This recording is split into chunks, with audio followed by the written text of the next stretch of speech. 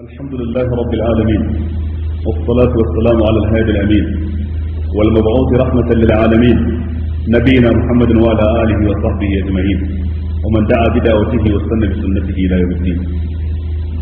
وبعد فسادس هذه المراحل مراعاة الآداب الشرعية للآتي إلى المسجد منها تحسين الهيئة والتطيب والسواك من أجل المسجد. قال تعالى يا بني آدم خذوا زينتكم عند كل مسجد. وقال عليه الصلاة والسلام من أكل هذه الشجرة يعني الثوم فلا يزكان في مساجدنا. متفق عليه. ومنها المشي إلى المسجد بسكينة ووقار لقوله عليه الصلاة والسلام إذا سمعتم الإقامة فامشوا إلى الصلاة وعليكم السكينة والوقار. ولا تسرعوا فما أدركتم فصلوا وما فاتكم فأتموا. متفق عليه. ومنها تقديم الرجل اليمنى عند الدخول واليسرى عند الخروج. ومنها الدعاء عند الدخول بقوله اللهم افتح لي أبواب رحمتك وعند خروجه فليقل اللهم إني أسألك من فضلك. رواه مسلم. ومنها الحرص على الصف الأول فالأول. ومنها الحذر من تخطي رقاب الناس وخاصة ليوم الجمعة. ومنها عدم المرور بين يدي المصلي بقوله عليه الصلاة والسلام لو يعلم المار بين يدي المصلي ماذا عليه لكان أن يقف أربعين خيرا له من أن يمر بين يديه. متفق عليه. ومنها الحرص على تحية المسجد ومنها عدم رفع الصوت في المسجد وغير ذلك من الآداب التي لا بد من المحافظة عليها للساعين إلى المساجد. تابع هذه المحاور وظائف المسجد من أهمها إقامة الصلوات ثم إقامة هلكات العلم. فعن عقبة بن عامر رضي الله عنه مرفوعا. أيكم يحب أن يغدو كل يوم إلى برحان أو العقيق؟ فيأتي بناقتين كوماوين أو كوماوين بغير اسم ولا قطع رحم قلنا كلنا يحب ذلك يا رسول الله. قال أفلا يغدو أحدكم إلى المسجد؟ فيتعلم أو يقرأ آيتين من كتاب الله خير له من ناقتين وثلاث خير من ثلاث وأربع خير من أربع ومن أعدادهن من الإبل. أخرجه الإمام مسلم.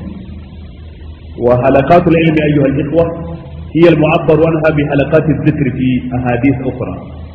قال صلى الله عليه وسلم ما من قوم يجتمعون في بيت من بيوت الله يتعلمون القرآن ويتدارسونه بينهم إلا حفت عليهم الملائكة إلا حفتهم الملائكة وغشيتهم الرحمة ونزلت عليهم السكينة وذكرهم الله في من عنده. والحديث أخرجه الإمام مسلم. وثامن هذه المحاور والأخير في هذا اللقاء موارد المسجد. إن أعمال المسجد من صيانة وإدارة ونفقات الإمام والمؤذن والمدرسين وغير ذلك كانت من قبل تأتي من بيت المال.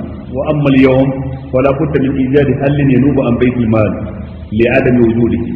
ويتلخص في الآتي أولا الزكوات. فالزكوات ينفق بها على المساجد. ثانيا التبرعات من أمم المسلمين. ثالثا الاستثمار. إذا كان من إذا كان هناك في المسجد من يجيد ذلك. رابعا الأوقاف. وهي الأصل. ومن دون ذلك لا يتأتى للمسجد أن يؤدي دوره المنتظر من تثقيف الناس وتعليمهم أمور دينهم ودنياهم. من هنا أيها الإخوة كان بناء المسجد وعمارته والعناية به عبادة يبتغى بها وجه الله. وكان هدمه وتكريمه ومنع الناس من الصلاة فيه ظلما وعدوانا وفسادا.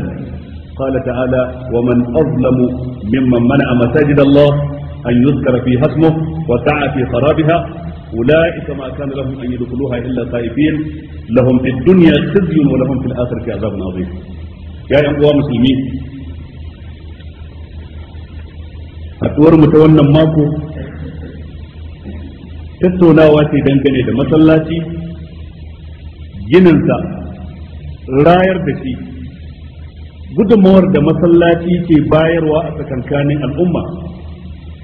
Bayanin wani sashi na dukkan abin da ke da alaka da hakan don tunatarwa da faɗakarwa da kwadaitarwa ga dukkan mai kwadayin alkhairi ga dukkan mai gaggawa zuwa ga aikin da'a don kowane ɗaya daga cikinmu ya ba da tashi gudunmawa sawa'un ta ganin ido ko gudunmawa ta fuskar ma'ana karantarwa wa'azantarwa tunatarwa da sauransu. Lafazin masallaci a hausance kenan amma a larabci al-masjid wanda asalin kalmar ana nufin wurin yin sujada. Al-masjid wurin yin sujada. Duk da cewa sallah ba sujada ce kadai a cikin sallah ba akwai tsayuwa akwai karatun qur'ani akwai ruku'i akwai sujada akwai tahiya akwai kabarbari amma sai aka wari sujada ita kadai aka sanya wa wurin da ake yin sallah suna da kalmarta aka ce masjid wurin yin sujada ana nufin wurin yin sallah gaba da ita. Me ake nufi da wannan? Malamai suka ce saboda babu wani hali da ɗan adam ke kasancewa mafi kusanci da ubangijinsa sama da lokacin da yake cikin sujada. Goshinsa da hancinsa ya turmuza su a kan ƙasa. To a wannan lokaci ne ɗan adam ke kasancewa cikin hali da ya fi kusanta shi da Allah. Shi yasa sai aka falgaci sunan as-sujud aka raɗawa wurin da ake yin sallah suna da wannan kalma al-masjid. A madadin a ce al-marka. Don sujada ce tafi komai kusantar da bawa zuwa ga ubangiji kamar yadda manzon Allah ya bayyana cikin hadisin da Imam Muslim ya rawaito. Masallaci yana da matuƙar muhimmanci yana da daraja yana da kima. Abin da ke nuna darajar masallaci al'amurra ne masu yawa. Kaɗan daga cikin su lokacin da annabi sallallahu alaihi wa alihi wa sallam ya yi hijira zuwa madina a inda ya zauna kafin ya karasa cikin garin madina unguwar mutanen da ake kira banu amr bin auf a wurin da ake kira quba. Kafin manzon Allah ya komai a wajen ya gina masallacin quba wanda ke nuna muhimmancin masallaci.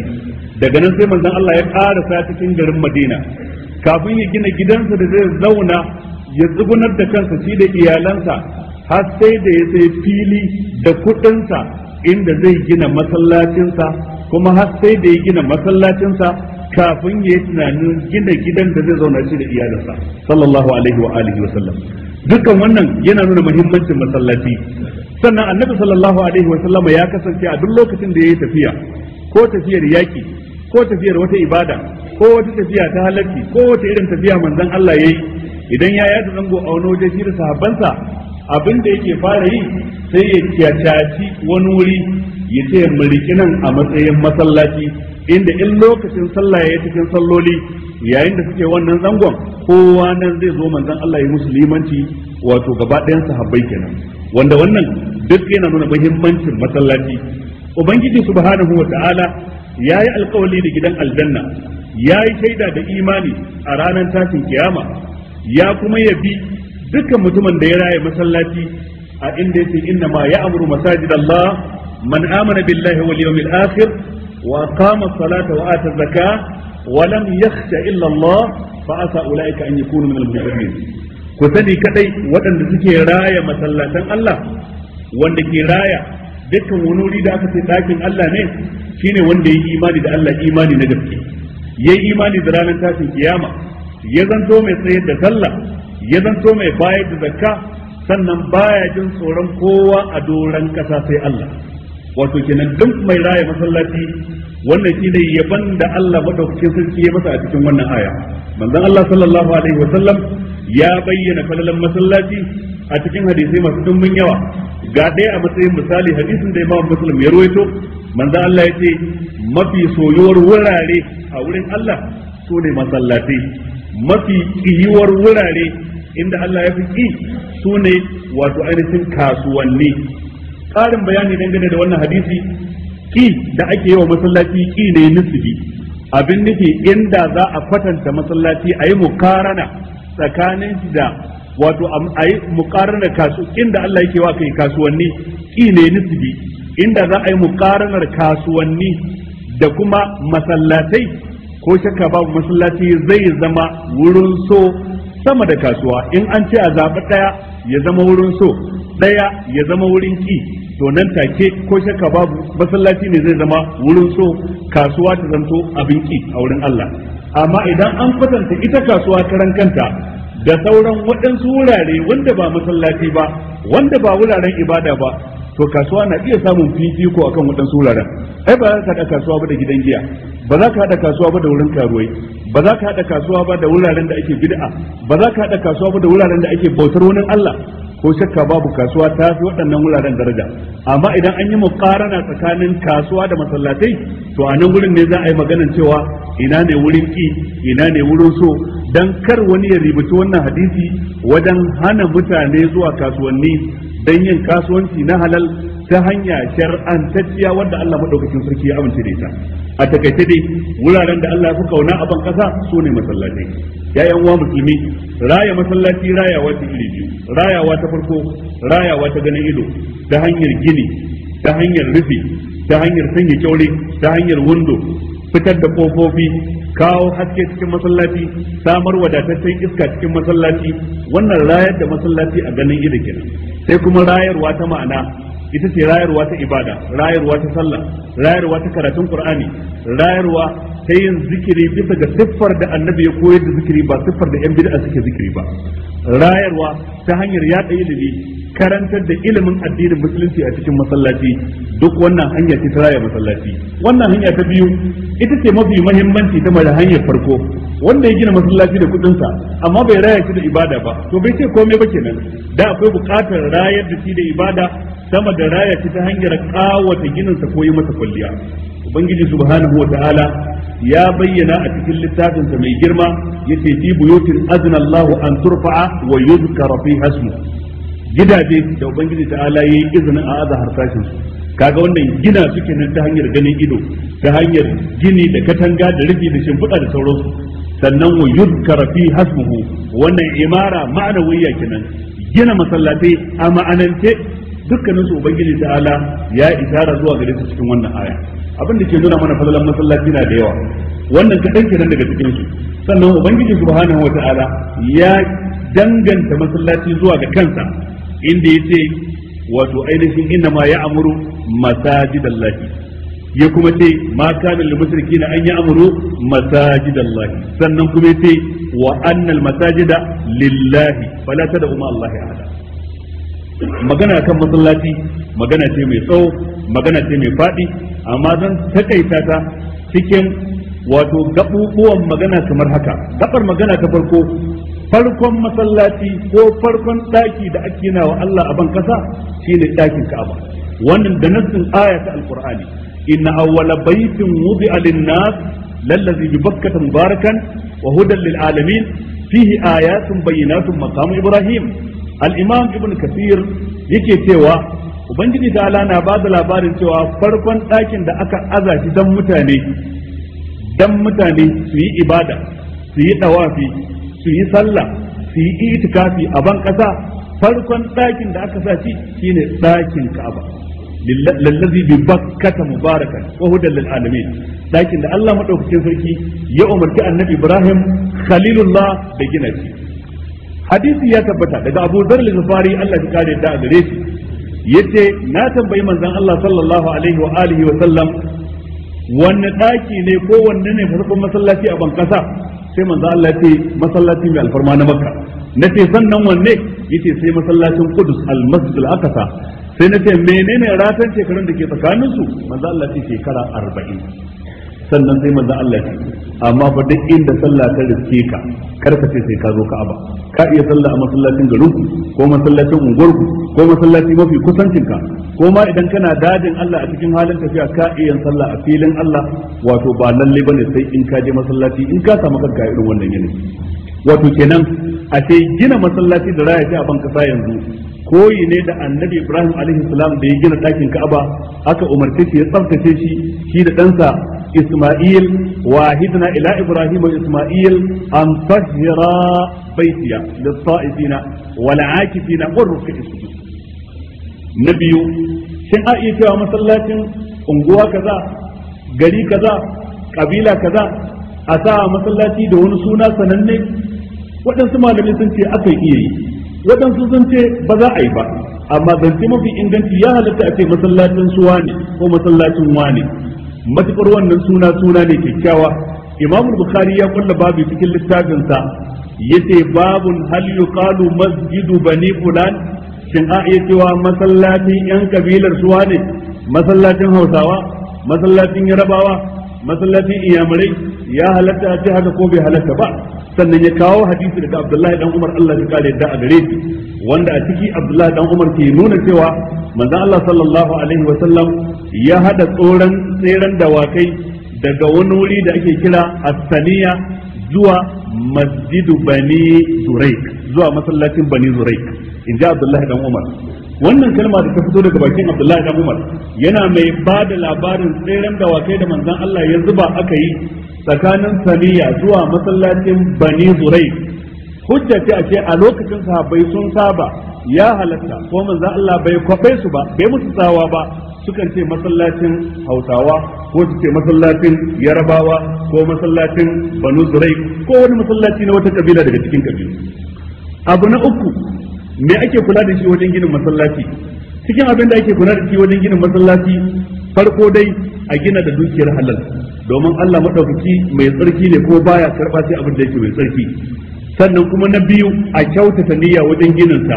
Dan manzon Allah ya ce dukkan wanda ya gina masallaci dan Allah Allah zai gina masa gida a cikin aljanna. Kaga ya ce dan Allah. Kalmar lillahi ibn al-jawzi ya ribace ta. Yace abin da take nufi wato kenan ya zanto ya gina masallacin ne dan Allah ya bashi lada. Da mutum zai gina masallaci sai ya rubuta sunan shi ko adireshinsa a jikin masallacin ya makala dan a ce masallacin wane? Yace to yayi nisa da islami. Sannan kuma abu na uku a kiyaye ka'idoji na shari'a wajen ginin masallaci. Kada sifarsa ta zama ta soci kada sifarsa ta zanto ta yi kama da wani wuri da bautawa wani Allah. Lalle ya zanto an tsantsanta sifofi irin na masallaci. Abu na huɗu a nisanci ƙawata shi da da kwalliya mai yawa. Tunda yin kwalliya wa masallaci abu ne wanda aka hana a shari'ance kuma yana daga cikin alamomin tashin kiyama. Mutane za su rinka alfahari da kyan masallacin su ko doguwar asumiyar su ko kyan kilishin da aka sa a ciki ko masallacin wani na da labule na wani ba da duka waɗannan alamomi na tashin kiyama. Manzon Allah ya ce la taqumu sa'a hatta yatabaha an-nasu fil masajid. Wannan hadisi ne da Imam Abu Dawud ya rawaito hadisi ne kuma sahihi. Sannan lalle abu na biyar a gina masallaci a waje ba a cikin gida ba dan a baiwa masallata daman zuwa su yi ibada a ciki. Amma idan aka gina shi a cikin kewayen gida na iya zuwa in ce zan yi itikafi ana ni shiga. Na iya zuwa in ce zan zauna in yi darasi na alqur'ani a hana ni shiga tunda sai na bi ta hurumin gidan kafin in shiga cikin masallacin. Amma idan mai gida ya ware tsakanin gidansa da masallaci to wannan kamar ya telanta al'umma ya kururuta musu cewa ku zo ku ibada daki ne na gina shi don Allah ba dan ni karan kaina ba. Duk da ni zan kula da shi da tsaftace shi to amma kuma ba ni ne zan ce ka shiga ko kar ka shiga ba. A lokacin da duk kake son kai ibada ka zo ka shiga sannan kuma gina masallaci a wurin da a iya ibada. Kar ya gina masallaci a dajin Allah inda babu mutane. Ya kamata a gina shi inda mutane suke. Gabar magana ta huɗu masallaci yana da abin da suke makwabtaka da shi. Banda masallaci ya kamata akwai makarantar islamiyya in son samu ne. Ya kamata ya kasance akwai labirari ɗakin karatu wanda za a ƙosar da shi ɗakin da littattafai na addinin musulunci. A fannoni daban-daban na ilimin addinin musulunci da tafsiri da hadisi da aqida da fiqhu da tarihi da sira da sauran bangarori da fannoni daban-daban na ilimin addinin musulunci. Wannan duk yana daga cikin abin da ya kamata yi makwabtaka da masallaci. Makaranta ta islamiyya gidan saukar baki in son samu ne. Duk wannan yana ɗaya daga cikin abin da ya kamata a ce akwai shi a masallaci. Sannan abu na biyar shi masallaci yana buƙatar kulawa ta samuwar ɓangarorin mutane kamar haka. Abu na farko limami hafizin alkur'ani wanda yake kyautata karatunsa. Ko kuma wanda ya haddace wani kaso a cikin alkur'ani ko da ba duka ba tare da kyakkyawan karatu da tajwidi da sanin hukunce-hukuncen shari'a musamman hukunce-hukuncen da suke da alaka da sallah irin waɗanda sallah ba ta ingantuwa sai da su. Samun irin wannan liman wajibi ne a masallaci.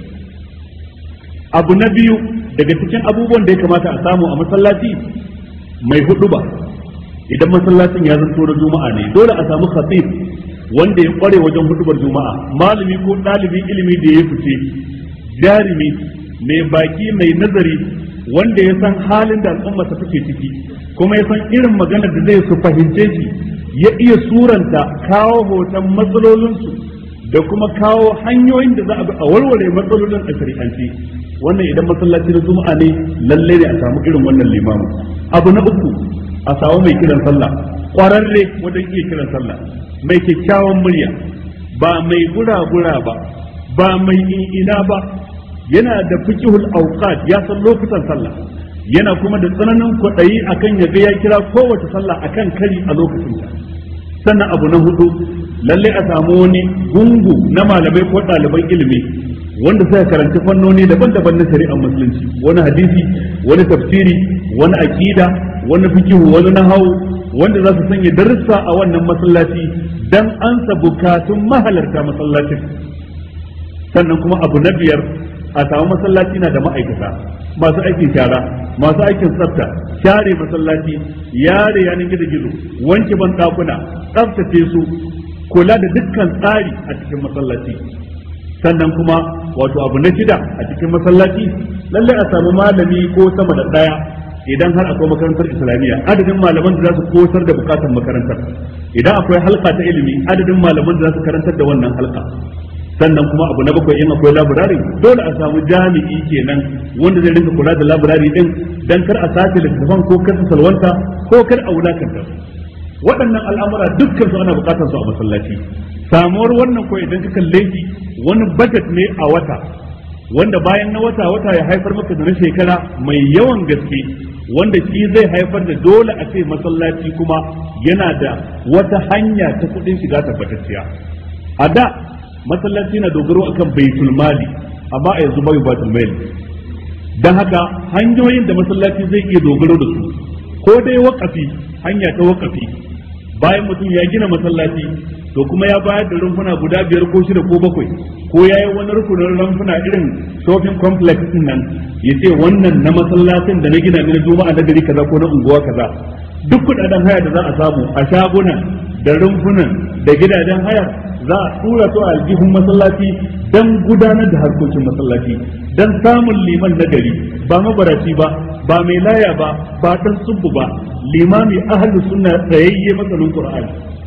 Dan samar da mai kiran sallah wanda ya kware ba dan mun gada ba wanda harshensa ya kyautata larabci. Dan samar da malaman da za su karantar da alqur'ani. Dan kula da janareta na masallaci in ba wuta dan kula da na'urar amsakuwa dan kula da duk abin da ya kamata dole sai masallaci na da irin wannan auqaf in babu wakafi zakka ta yau da gobe da mutane ke fitarwa in sun fitar da zakka su ware wani kaso dan bayarwa a asusun masallaci. In a masallaci akwai amintattun mutanen da za su sarrafa wannan dukiya ta hanyar da ta dace. Idan ko ba wannan ba to ya kasance sanata ta yau da gobe. Akwatuna na ƙofar masallaci na wajen masallaci duk lokacin da za ka zo in kana da kishin addinin ka in kana da kishin masallacin garin ku ko anguwarku ka riko wani abin da zaka zira ko duk mako ko kullum kullum ko dukkan kamsu salawati a ce ka saka. Kaga kana yin jihadi da dukiyarka kana jihadi da gangan jikinka. Ta hanyar haka sai a samu abin gudanar da wato ainihin masallaci. Ko industry idan masallaci yana da waɗansu kuɗi da aka ba shi dunkulallu sadaka to kuma a cikin masu gudanar da masallaci akwai wanda ke da baiwar kasuwanci ya san dabarar da zai kawo ta samun kuɗin shiga a yi wani shago ko ana sayar da kunun zaki ko ruwan sanyi ko kaset ko littattafai ko waɗansu ababen da sa iya taimakawa wajen samun kuɗin shiga don masallaci ya shiga. Wannan ita ce gabar magana ta shida samun abin shiga a masallaci don masallaci ya zauna da gindinsa. Sannan kuma abu na shida lalle akwai ladubba da ya kamata a ce duk wanda zai zo masallaci ya kiyaye mai zuwa masallaci dole ya kiyaye waɗannan ladubba. Ladabi na farko ya kyautata kamanninsa. Kyautata kamanni ta hanyar kayanka su zanto wankaku ko da baka goge ba. Kayi wanka baka wari baka datti kana kula da tsaftace gashin kanka. Kana kula da tsaftace haƙoranka ta hanyar aswaki kana kula da aske gashin hamatarka. Kada ka zo masallaci kana wari wannan ba daidai ba ne ba. Ubangiji ta'ala ya ce ya bani adama khudhu zinatakum inda kulli masjid. Ya ku ƴaƴan annabi adam ku riki kwalliyar ku da adam ku a kowane masallaci. Abin nufi ka zo masallaci tsaf a gyare inda hali ma ka sanya turare kana kanshi haka ake so. Manzon Allah sallallahu alaihi wasallam ya ce man akala hadhihi tajara fala yaktana fi masajidina. Dukkan wanda ya ci tafarnuwa kada ya kuskure ya zo mana masallacin mu. Domin zai zo yana doyin baki yana warin baki. Malamai suka ce banda tafarnuwa duk abin da zai gadar maka da doyin baki ta ba sigari kake sha to ka daina sha in kana son ka halarci jami'i. In kuwa za ka je a rinka cutuwa da warin bakin ka to ka cutar da al'ummar manzon Allah sallallahu alaihi wa sallam. Sannan ka cutar da mala'iku da ke zuwa masallaci. Dan manzon Allah ya fa innal mala'ika tata'azza mimma yata'azza minhu banu adam. Mala'iku suna cutuwa da irin abin da dan adam ke cutuwa da shi. Ba sa son dattin baki ba sa son koyon baki ba sa son warin baka. Da haka mutum ya kyautata kamanninsa in zai zo masallaci. Sannan kuma ya zo masallaci a natse kar ya zo masallaci a guje. Manzo Allah ce idan kun ji ikama kar ku taho masallaci da gudu. A'a ku taho a natse wa ma adraktum fasallu wa ma fatakum fatimmu abin da kuka samu ku sallace shi wanda ya kubuce muku ku cika.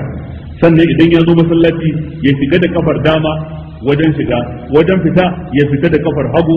Sannan idan ya zo masallaci kafin ya shiga akwai addu'a da shiga. Suna daban jinsi daban-daban ko nau'i daban-daban. Kaɗan daga ciki Allahumma aftah li iftah li abwaab rahmatik. Ko Allahumma aftah li abwaab rahmatik. Allahumma aftah li abwaab rahmatik. In ko zai fita ya ce Allahumma inni as'aluka min fadlik. Allahumma inni as'aluka min fadlik kamar da ba muslim ya sannan kuma ya zanto yana mai kwaɗayin samun sahun gaba sannan wanda ke bi masa sannan wanda ke bi masa. Sannan ko mutum ya kiyaye tsallake sahun mutane da ƙetare kawukan mutane. Ka zo masallaci a makare kana son sai kuma kawo ce gaba. Sannan ko mutum ya kiyayi ƙetare masallata lokacin da suke cikin sallah. Kar dan uwanka na nafila ka ƙetare gabansa. A'a sai fa in yayi sutura da wani abu yayi sutura da wani a zaune a gabansa yayi sutura da ginshikin masallaci to sai ka wuce ta bayan abin da ya sutura. Amma kar ka wuce tsakaninsa da suturarsa. Manzo Allah ya ce wanda ke wucewa ta gaban masallaci da ya san laifin da ke kansa da ya gwamnati ya tsaya har arba'in. Ɗaya daga cikin marwaita hadisi ce ban san ba mai manzo Allah yake nufi. Shi yana nufin shekara arba'in sati arba'in kwana arba'in wata arba'in? In dai da ka san zunubin da ke kanka sakamakon ƙetare sallar masallaci da ka gwammace ka tsaya har tsawon arba'in. Haka manzo Allah ya faɗa sallallahu alaihi wa alihi wa sallam. Sannan da mutum ya shiga masallaci ya akwai ranar lokaci ba tare da sallah ba yayi tahiyatul masjid. Rakawoyi guda biyu dan gaisuwar masallaci. Sannan mutum ya kare zo mai daga murya da kwafazo a cikin masallaci bayan ba buƙatar haka ake ba. Gabar magana ta bakwai ya uwa musulmi masallaci banda sallah guda biyar da ake a cikin sa banda sallah ta juma'a da ake a cikin sa in na juma'a ne mafi tsadar abin da ake a cikin masallaci shine halaka ta ilimi. Majalisin ilimi majalisin karantar da alqur'ani ko hadisan manzon Allah sallallahu alaihi wasallam tafsiri ko fiqh ko tauhidi. Manzo Allah ya bayyana cikin hadisin da aka karbo daga Uqba ibn Amir. Manzo Allah ce shin ɗaya daga cikin ku na san na san zai so a ce ya wayi gari da safe idan ya je wani wadi da ake kira Aqiq ko ya je wani wadi da ake kira Buthan zai sami raƙuma guda biyu kosassu shin idan an baiwa ɗayan ku wannan labarin goben zai yi samu ko je wannan wurin? Sahabbai suka ce ƙwarai da gaske me zai hana? Kowane ɗaya daga cikin mu zai san wannan. Manzo Allah ya kusanta misali da raƙumi dan ita ce mafi darajar dukiya a lokacin. Ba dukiya da tafi raƙumi daraja a wancan lokaci sai manzon Allah ce to ɗaya daga cikin ku ya yi sammako ya je masallaci ya karanta aya ɗaya ko biyu cikin alkur'ani ya koyi aya ɗaya ko biyu cikin alkur'ani ya fi masa a bashi raƙuma biyu. Aya uku ta fi raƙuma uku. Aya huɗu sun fi raƙuma huɗu adadin ayoyi kuma sun fi adadin raƙuma ko nawa ne in ji manzon Allah sallallahu alaihi wasallam. Sai wannan ya nuna ashe ya je masallaci ko ya karanta ko ya koya. Dan ya ce fa ya ta'allam aw ya kara ya koya ko wato ainihin ya karanta. In ya iya zai je ya bitan qur'ani zai je ya tilawa. In ko bai iya ba ya je ya koya. Sai wannan ya nuna mafi tsadar abin da ake a cikin masallatai bayan sallah shine durus. Duk masallacin da ba a darasi na ilimi ba majalisin ilimi mataccen masallaci ne. Ko da kaga mutane suna yin wani abu daban wanda kai a ganin idan ka kila ya iya zama ibada sannan manzon Allah ya ce babu yadda za a yi mutane su taru a wani daki cikin dakunan Allah. Ya ta'allamuna alqur'ani suna koyan alqur'ani. Ko dai su koyi tilawarsa ko su koyi tafsirinsa su koyi wani hukunci cikin hukunce hukuncensa duk wannan koyon alkur'ani bayan da za a yi haka suna darasinsa. Face sai mala'iku sun musu da'ira. Sai rahama ta lullube su. Sai nutsuwa ta sauka akan su duk hadisai da suka zo suke magana akan halakatun zikiri a cikin masallaci halakar zikiri da'irar zikiri ba wai zikiri irin wannan wanda mutanen mu suke yi da sauti ɗaya ko wanda suke suna tsalle ko wanda suke suna ihu ake nufi ba. Abinda ake nufi da zikiri ilimi. Ubangiji ce fasalu ahla zikri in kuntum la ta'lamuna. Abinda ake nufi da zikiri shine wahayin da Allah ya saukar. Abinda ake nufi da zikiri shine alqur'ani inna nahnu nazzalna dhikra wa inna lahu lahafizun. Amma ba wai zikiri irin wanda mutane suke da'irar zikiri ana nufin da'ira ta darasi. Da'ira ta alqur'ani da'ira ta fiqh da'ira ta hadisi da'ira ta karantar da tafsiri ta karantar da tauhidi ta karantar da tataccen tarihin manzon Allah sallallahu alaihi wa alihi wa amma sai yan bid'a suka gurbata suka daskar da tunanin mutane cewa abin da ake nufi shine zikiri da mutane suke yi da ihu wanda zikiri na baka ibada ce da Allah ke son kai kai kadai ne ma ni kadai in yi ni kadai kai kai kadai. Babu inda annabi sallallahu alaihi wa sallam ya taba haɗuwa shi da wani sahabi suna yi tare ko shi da Abubakar da Umar da Usman suna rerawa suna rangaji suna raushi su fara tare su kare tare. Wannan bid'a ce ma anzalallahu biha min sultan. Ya yan uwa musulmi abin da masallaci ke buƙata yana da yawa. Bangarorin magana akan sai yana da yawa. Kula da masallaci a ce ibada ne. Gina masallaci ibada ne.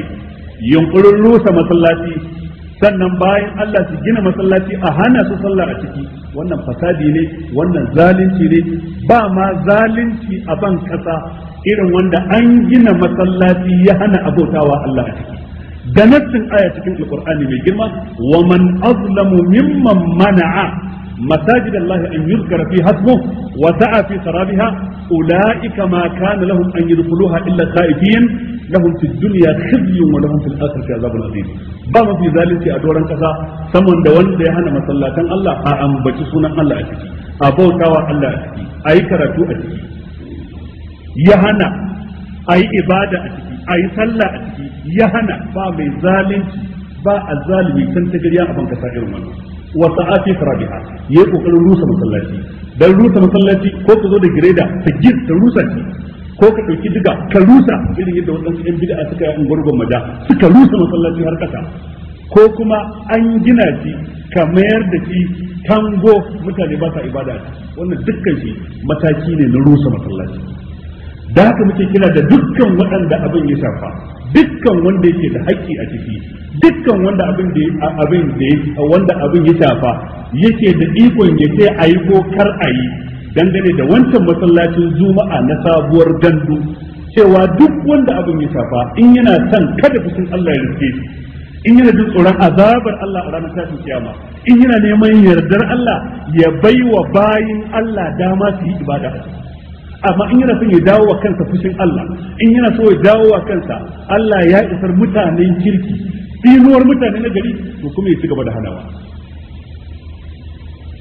Ya ci gaba da hanawa. Tura ta kai bango komai an riga an yi shiga ya yi tsanani ya kamata lokacin ya wuce. Su waɗanda suke zuwa su kai ƙara su yi zuga su faɗi maganganu na batanci sunna ta riga ta fito fili manufofin ahlus sunna akan tun ana da ɗaya a ko ina manufar a fili take. Allah ya ce manzon Allah sallallahu alaihi wa sallam ya ce ba wata ajanda a koyi babu wani abu kulle na khawas ko na khawasul khawas. Abu ne a fili innahu da qaulun fasl wa ma huwa bil hazl. Qur'ani a bayyane yake a fili haka ake jan shi a bayyana shi dan haka dukkan wanda abin ya shafa muna jan hankalinsu su ji tsoron Allah su yi adalci. Su ji tsoron Allah su kwatanta gaskiya su ji tsoron Allah. Kada su tasirantu da zigar masu zuga da zagin masu zagi da munafunci masu munafunci.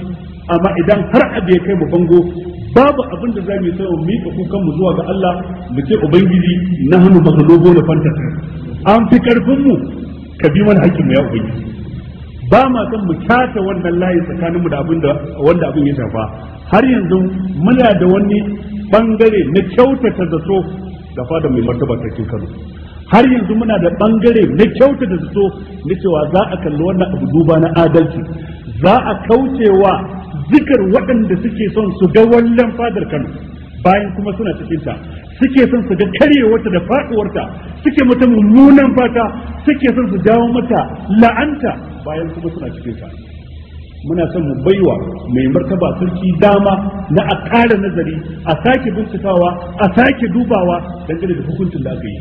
Kamar yadda muke son gwamnatin jihar Kano mu sake ba ta dama ta sake nazari ta sake bincikawa. Ba ma son mu kai lokacin da mun ja layi ba ma fatan wannan haka tsakanin da mu da dukkan wanda Allah madaukakin sarki ya ba shi shugabancin mu. Amma abin da muke cewa shine muna buƙatar ai adalci kuma adalci shine kashin bayan tafiyar kowane irin mulki. Shekul islam ibn taymiya ke cewa ubangiji ta'ala yana taimakon gwamnati shugabanci sarauta mai adalci ko ta kafirci. Amma baya taimakon gwamnati da sarauta mai zalunci ko ta musulmi. Gwamnati mai adalci ubangiji ta'ala na taimakonta. Duk azzalimar gwamnati ubangiji ba zai ƙyale ta ba sai ya rugurguza ta. Duk sarauta mai adalci da kwatanta adalci ubangiji na taimakonta. Duk azzalimar sarauta ubangiji ta ala rusa ta yake baya ƙyale ta. Duk wanda aka zalunta babu hijabi tsakaninsa da addu'arsa babu hijabi tsakaninsa da Allah. Haka manzo Allah ya ce wattaqi da'watal mazlum fa innahu laysa bainaha wa bainal lahi hijab. ku kiyaye addu'ar wanda aka ci zalunta babu hijabi tsakaninsa da ubangiji babu hijabi tsakaninsa da ubangiji اللهم اعز الاسلام والمسلمين واذل الشرك والمشركين ودمر اعداء الدين وانصر عبادك الموحدين واحمي حوزة الدين يا رب العالمين اللهم امنا في اوطاننا واصلح ائمتنا وولاة امورنا واجعل ولايتنا في من خافك واتقاك واتبع رضاك يا رب العالمين وصلى اللهم وسلم